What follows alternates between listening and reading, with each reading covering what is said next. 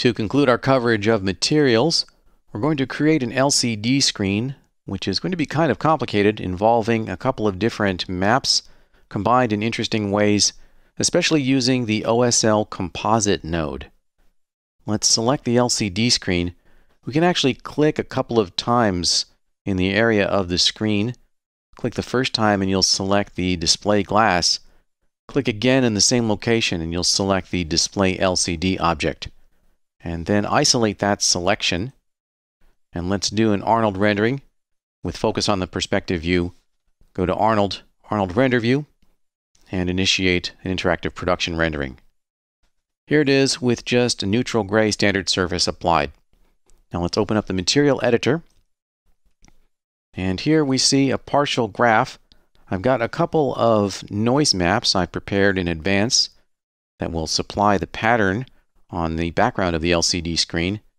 We also have the network we created in a previous movie, which is a layer shader for the buttons. We're going to be using this vector map node in the network that we create now. So I've left that here so we can just use that same map and not have to recreate it. We won't be using the material map browser anymore, so just to save space, we can close that. We can click on the button on the material editor toolbar to hide or show that. With the display LCD object still selected, let's graph its network. From the Slate Material Editor menus, choose Material, Get from Selected. And here is the standard surface. We can move that and navigate with the middle mouse button. Bring that around and maybe zoom in with Control Alt and middle mouse button. We want to connect something to the base color. So drag out from that base color, release the mouse. From the pop-up menu, choose OSL, Compositing, Composite. Then we get another pop-up menu from which we need to choose which output to connect. Let's choose out, which is the color output. And we don't see much change. If we change the top layer RGB, we'll see what happens here. So we've got a top layer and a bottom layer to the composite map. With that map selected, let's rename it. We'll call it LCD base color. This base color is going to be separated into basically two elements, the lettering or the graphics and the background. And to make that separation or mask, we'll use the vector map from the previous movie.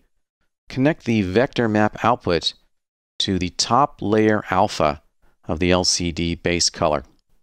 Then in that composite node's parameters, we can change the bottom layer RGB. Let's bring its value down to zero. And now we see we've got a top layer, which is gray, and a bottom layer, which is black. But it's not perfectly black because we do have a specular component to our material. If we select that material, we'll see we have a specular roughness of 0.5 and a specular color weight of 1 with a specular color of white. I want these elements, these graphics here, to render as perfectly black so I can map this specular color. Let's make a duplicate of this LCD base color composite node.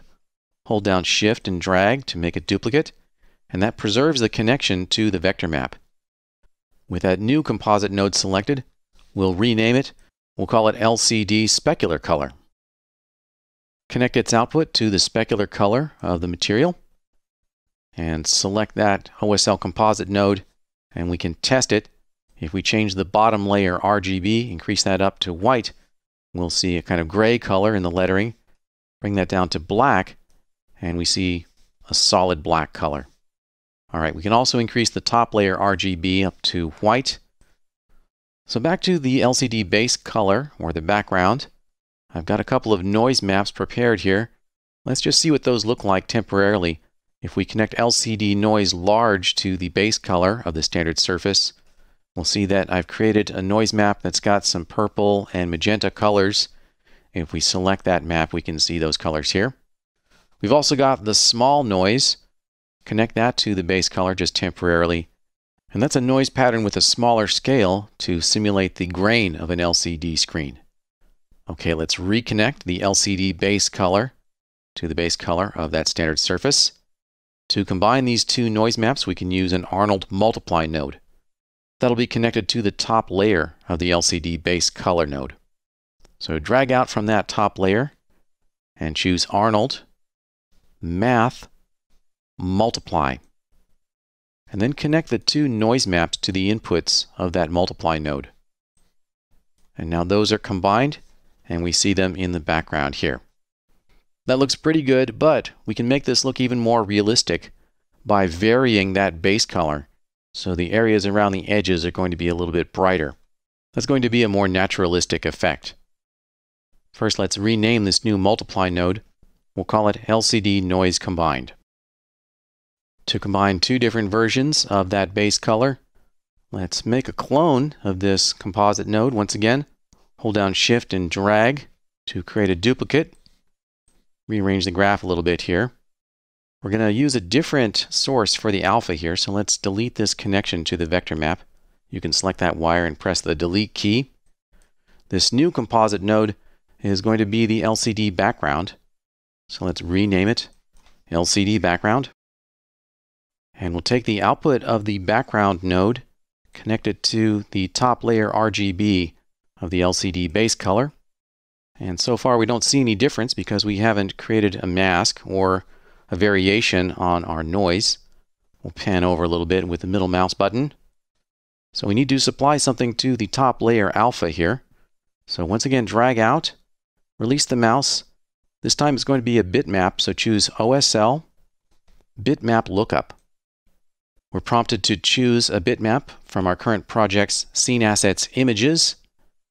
We've got one in here, graphics lcd.png. That's just a gradient image. And we need to connect to something. We get a pop-up dialog. That alpha will only select a floating point input. We can't supply an RGB connection there.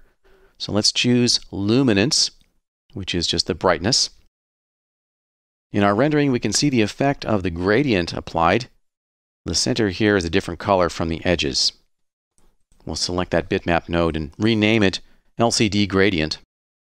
And in this case, we want this LCD noise combined to be the bottom layer, so connect it to the bottom layer.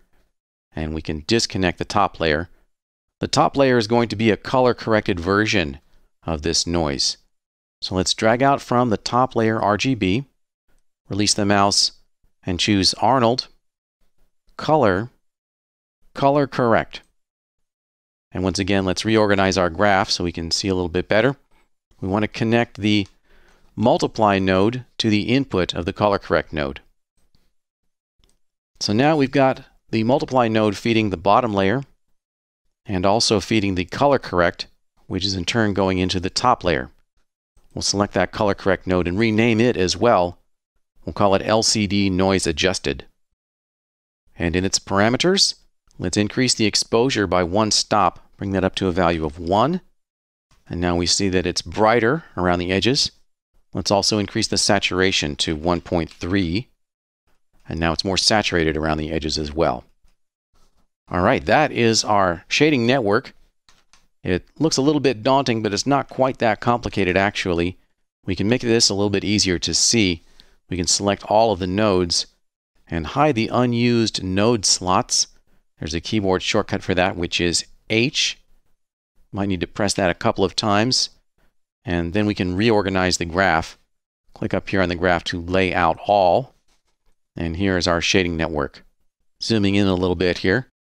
We're taking two noises, multiplying them together, color correcting it, combining it with the non-color corrected version to create this gradient. That's the background. The background is actually the top layer of this composite node. Once again, as I mentioned earlier, because the vector map is black letters on a white background. And the bottom layer, which is anywhere that the vector mask is transparent, is black. And that is supplying the base color.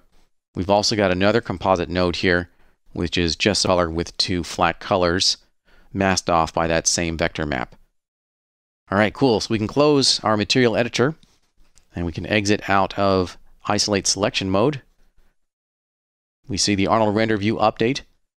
And now we've got that LCD screen behind the glass.